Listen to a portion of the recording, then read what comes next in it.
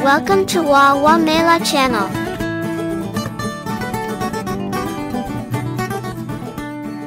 Kroaker the Bullfrog Not long ago, in a crystal clear river, near a small town lived two very big fish. In fact, they were so big that they were not afraid of anything. They swam anywhere they wanted. They tangled the lines of children fishing in their river. They ate when they were hungry and splashed anyone sitting on the bank. They were the big, brave rulers of the crystal clear river. One day, a large bullfrog and his family moved into the area. The bullfrog saw the two big, brave fish in the crystal clear river and wanted to talk to them. But he was afraid.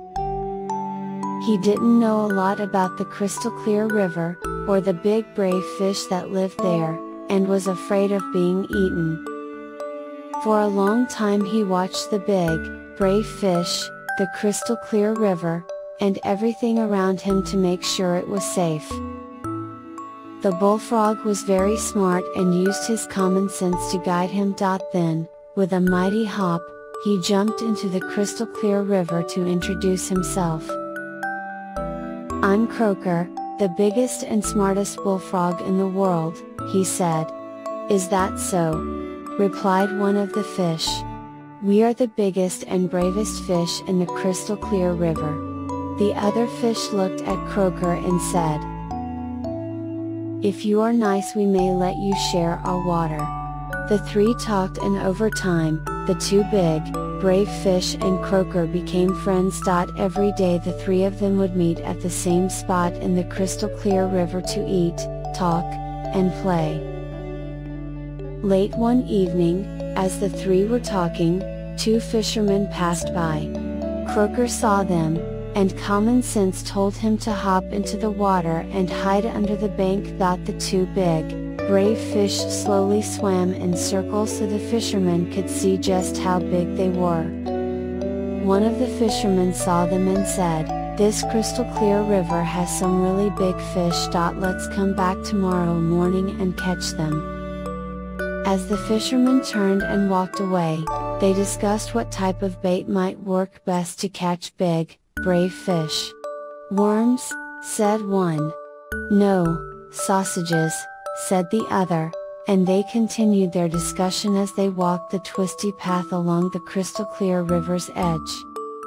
The two big, brave fish and the croaker overheard the fisherman. My friends, said Kroaker. Did you hear what they said? You should swim away and hide. I am afraid they may catch and eat me, so I will take my family to a nearby pond to be safe. The two big, Brave fish bubbled out laughs as they jumped in and out of the water. One said, My dear bullfrog friend, don't be frightened of their mere talk. Kroaker looked at the two brave fish and said, I would rather be safe than sorry. From what I heard they might come back so I will leave with my family to the safety of the pond. Kroaker left and the two big, brave fish swam to the bottom of the crystal clear river.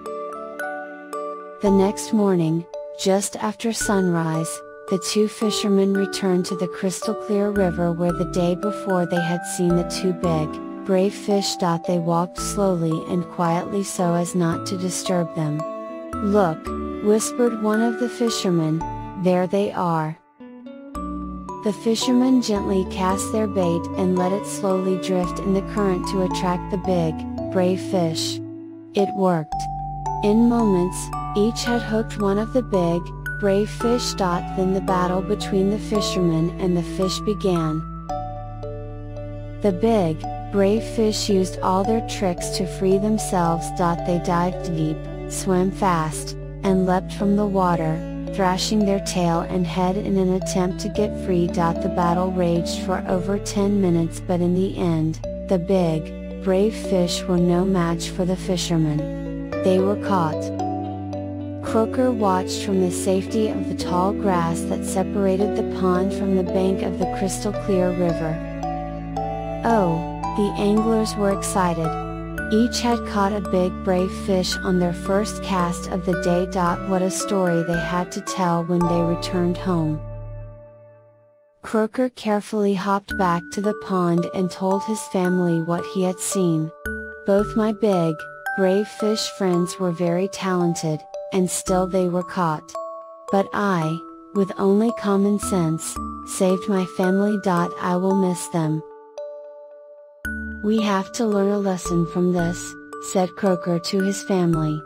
At the first sign of danger, use common sense and act quickly to save yourself.